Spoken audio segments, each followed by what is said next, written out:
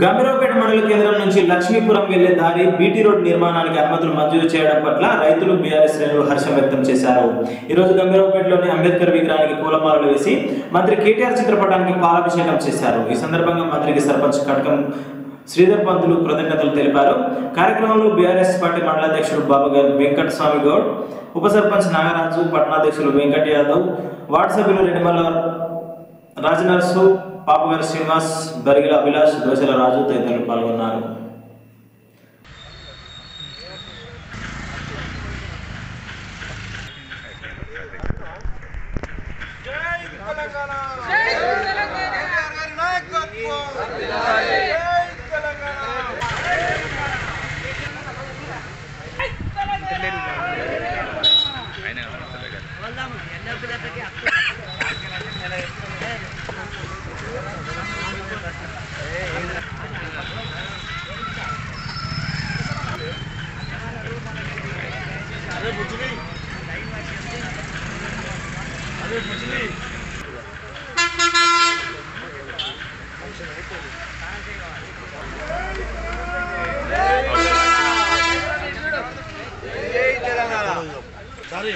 Okay right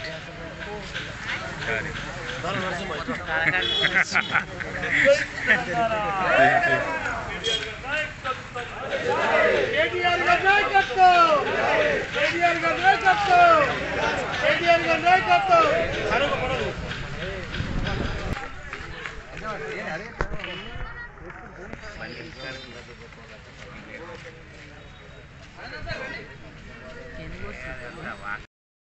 ఆతున్నా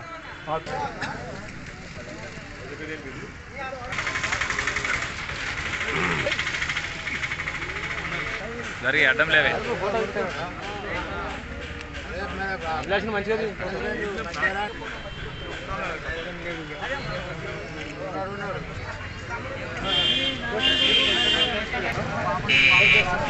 ఏ రైతులు మీరు పోతుందంటే అయిపోయాయి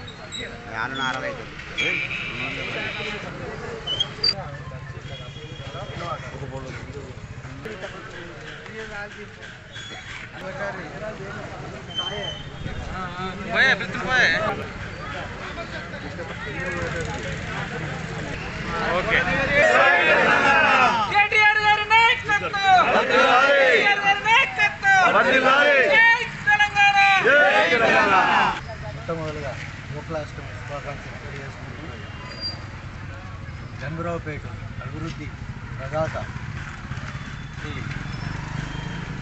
తారక రామారావు గారు.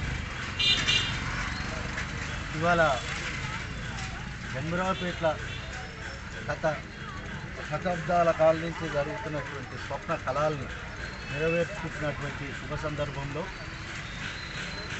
నిన్ననే పదమూడున్నర కోట్లతోని హై లెవెల్ బ్రిడ్జ్ మంజూరుతో పాటు టెండర్ కూడా జరగడం జరిగింది.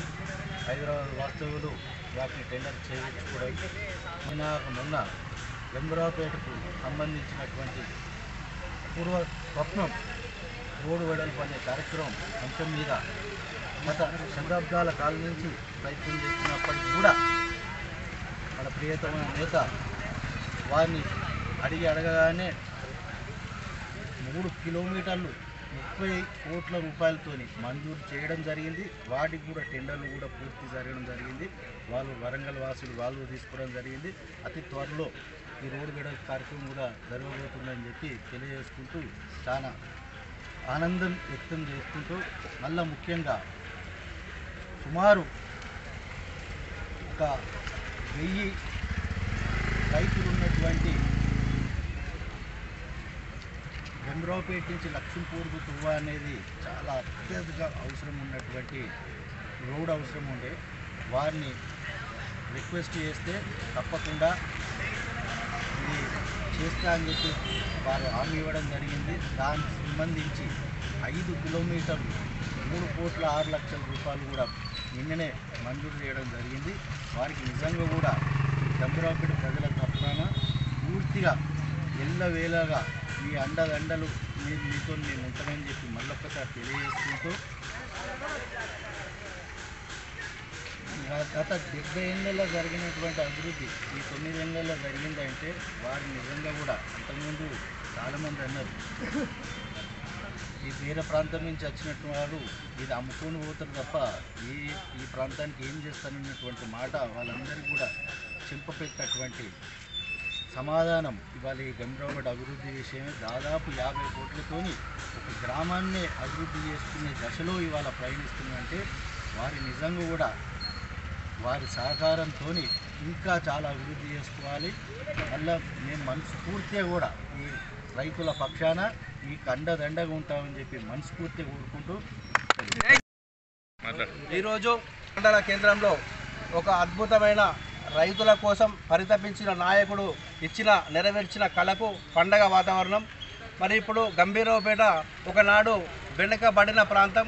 గంభీరవపేట అనేది మారుమూల ప్రాంతం. ఉమ్మడి కరీంనగర్ జిల్లాలో అసలు గంభీరవపేట ఎక్కడ ఉంది అనే కరీంనగర్లో మనం అడిగినటువంటి పరిస్థితి నుండి మారుమూల ప్రాంతం నుండి తెలంగాణ రాష్ట్రం సాకారానికి పూర్వము తెలంగాణ రాష్ట్ర అవతరణ తర్వాత అనే దిశలో ఈరోజు మనం ప్రయాణిస్తూ ఉన్నాం.